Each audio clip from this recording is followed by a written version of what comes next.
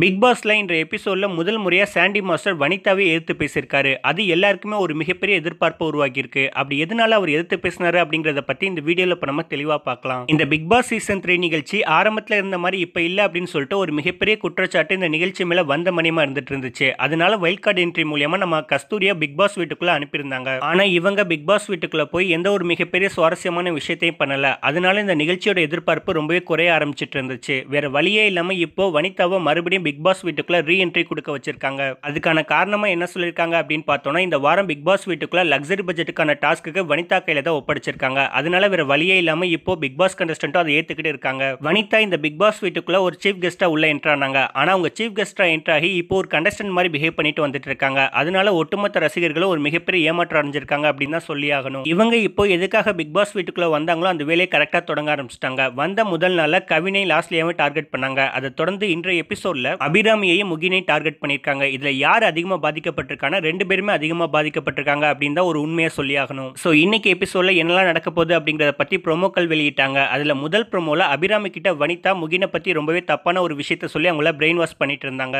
அதோட இம்பாக்டை ப்ரொமோ டூவில் காட்டியிருந்தாங்க. ப்ரொமோ டூவில் அபிராமிக்கும் முகினுக்கும் ஒரு மிகப்பெரிய சண்டை வந்திருக்கு. அதுலேயும் குறிப்பாக நம்ம முகின் அபிராமி அடிக்க போகிற அளவுக்கு வந்துட்டாரு. அதுவும் கையால் இல்லை சேர் எடுத்து அடிக்க போகிற அளவுக்கு ஒரு மிகப்பெரிய கோபம் அடைஞ்சிருக்காரு. இதோட தப்பு முழுக்க முழுக்க நம்ம அபிராமி மேலே மட்டும்தான் இருந்துட்டு இருக்கு. ஆனா இந்த கோவத்துக்கு பின்னாடி யார் இருக்கா அப்படின்னு பார்த்தோம்னா நம்ம வனிதா மட்டும் தான் இருந்துட்டு இருக்காங்க. அவங்க கரெக்டா வந்த வேலையை எல்லாத்தையும் கரெக்டா பார்த்துட்டு வந்துட்டு இருக்காங்க. அதை தொடர்ந்து இன்றைய எபிசோட்ல நம்ம வனிதாவை முதல் முறையா சாண்டி மாஸ்டர் எதிர்த்து பேசியிருக்காரு. எதனால எதிர்த்து பேசியிருக்காரு அப்படின்னு பார்த்தோம்னா ஆல்ரெடி நம்ம எல்லாருமே ப்ரொமோட்டோல பார்த்தோம். முகினுக்கும் அபிராமிக்கும் ஒரு மிகப்பெரிய சண்டை வந்திருக்கு. அதனால முகின் இப்போ ரொம்பவே மனசுடைஞ்சு போய் பெட்ரூம்ல அழுதுட்டு இருக்காரு. அப்போ முகினை காம்ப்ரமைஸ் பண்ண ஒட்டுமொத்த பிக் பாஸ் கண்டஸ்டன்ட்டும் வந்திருக்காங்க. அதுலயும் குறிப்பா நம்ம தர்ஷன் தான் முகினுக்கு ரொம்பவே சப்போர்ட்டிவா பேசிட்டு இருக்காரு. அவர் என்ன சொல்றாருன்னா டே அவ உன்னோட வீக்னஸை பயன்படுத்திக்க பாக்குற ஒழுங்கா இருறா அப்படின்ற மாதிரி சொல்லிட்டு இருக்காரு. இதை தொடர்ந்து நம்ம வனிதா வந்து பேச ஆரம்பிச்சிருக்காங்க. அப்போ சாண்டி மசா ஒரு நிமிஷம் இரியா அப்படின்ற மாதிரி சொல்லிட்டு இருக்காரு. அதுக்கு வனிதா எப்போதும் போல மதிக்காம அவங்க சொல்றதே சொல்லிட்டு இருக்காங்க. உடனே சாண்டி மாஸ்டர் ரொம்பவே கடுப்பாயிட்டு சும்மா அங்கிட்டு விலகி போயிட்டு இருக்காரு. அது மட்டும் இல்லாம அவன் சும்மா இருந்தாலும் நீங்க நோண்டி நோண்டி அதை பெருசாக்குறீங்க. அதனால அவனுக்கு தான் பிரச்சனை அப்படின்ற மாதிரி சொல்லிட்டு இருக்காரு. இதை கேட்ட வனிதா ரொம்பவே கோவமடைறாங்க. இதுக்கு வனிதா சாண்டி மாஸ்டர் கிட்ட என்ன சொல்றாங்கன்னு பார்த்தா இங்க சண்டையே நடக்கலாட்டி இங்க பிரச்சனை இல்லைன்னு அர்த்தம் இல்லை அப்படின்ற மாதிரி ஒரு விஷயத்த சொல்லிட்டு இருக்காங்க. அப்போ நம்ம கவினும் இவ்வளவு எமோஷனல் தேவையில்லக்கா அப்படின்ற மாதிரி வனிதா கிட்ட சொல்லிட்டு இருக்காங்க. இதை தொடர்ந்து